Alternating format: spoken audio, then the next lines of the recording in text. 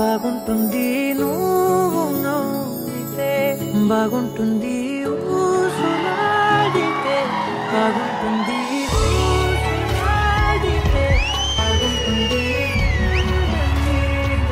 big boss ఇంట్లో మా Parivar June పన్నెండు మధ్యాహ్నం మూడు గంటలకు